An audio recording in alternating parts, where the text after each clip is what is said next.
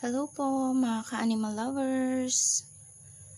Ah, ito po yung update po sa CCO kahapon. Kung napanood niyo po yung in-upload kong video na anak po ni Blackie na nasa basurahan na hindi po natin alam kung makakasurvive siya or hindi kasi nga po eh siya po ay premature baby. Uh, umabot lang po siya ng isang araw. Balik kahapon hanggang kaninang hapon din po. Uh, inilawan ko pa po siya kagabi na parang nursery. Tapos pinainom po siya ng tubig. Okay naman po siya kaninang umaga pero nung nakita ko po, yung binisita ko po ulit siya ng mga bandang hapon, ay hindi na po siya nakasurvive. Yan, kawawa naman si baby Blackie. Yan, hindi po nakasurvive yung nag-iisang sisiw ni Chiki. Yung si Blackie po. Kaya, ganun po talaga. Merong maswerteng nabubuhay. Pagpisa ng itlog meron naman pong premature. Uh, ayaw lang po kasi siyang alagaan or hindi po marunong si Blackie mag-alaga. Inaapakan po niya kagabi. Nilagay ko po sila sa isang magandang kulungan na merong karton at tubig din doon at pagkain at ilaw Kaso si Blackie po, yung nanay niya, inaapak-apakan lang po siya eh. Well, pero sa ngayon po ay samahan niyo po kung pakainin si Wendy ng paborito niyang watermelon at saka yung balat. At syempre, papakainin po natin din siya ng kanyang hapunan, yung kanyang feed. Yan. Samahan niyo po ko pakain si Wendy. At ang kaniyang paboritong snack na watermelon. May kapuntahan natin si Wendy. Yan po. Yan. Makikita niyo po. Wala na po dito yung mga makukulit na mga manok at gini dahil pinasok ko na po sila sa kanilang mga kulungan.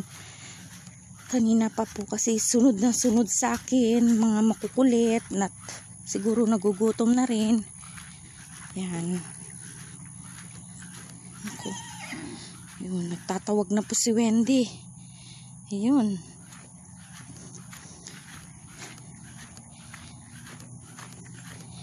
Nagugutom na rin yan siguro Kanina pa ako inihintay niyan.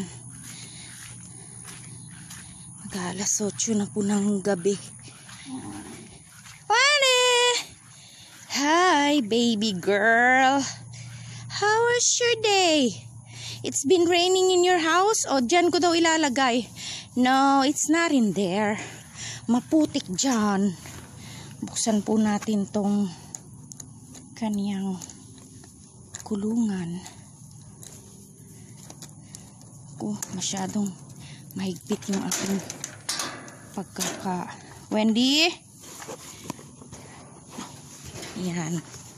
Nakapasok na po tayo. You been a good girl? Are you? Yes. Ooh! I know you're excited because mommy got something for you. Excited yan si Wendy. Naku, maputik naman dito sa bahay mo, Wendy. Ang putik. Yan. Dito natin ilagay itong pagkain ni Wendy. Yan. Ay, dito na lang banda. Wendy! Sandali lang. Yan, yan, yan dito. Oh, there. Ayan. Hindi makapaghintay eh. Kinukuha niya itong lalagyanan. Not there, not the cellphone. Gusto niya mag ano din sa cellphone. Look at the big one. Look at the big one there. Here's the feed.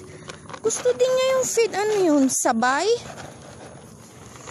Oh, here, here's your feed. Wala na dyan. Chinecheck niya kung mayroon pa dito sa lalagyanan. Wala na. Naibigay ko na sa'yo lahat. Yan po ang paboritong snack ni Wendy. Ang watermelon. Gustong gusto niya po yan. Yan, medyo matubig po yung bahay ni Wendy. Well, mabuti naman yan kasi para tumubo po yung mga damo. At may snack si Wendy. Yes, Wendy girl. Ang aming miniature horse na sobrang bait at sobrang malambing. Hi, Wendy girl. Hi, baby. Hi, baby girl. Ano ba naman laki naman ng puwet na yan, no? Paharang-harang sa camera. okay. Maraming salamat po sa palaging panonood, sa panonood ng aking video palagi.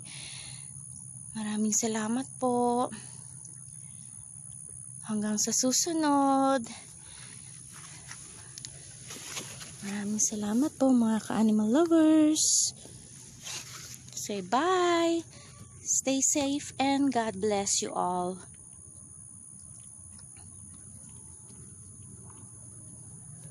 Say bye-bye, Wendy.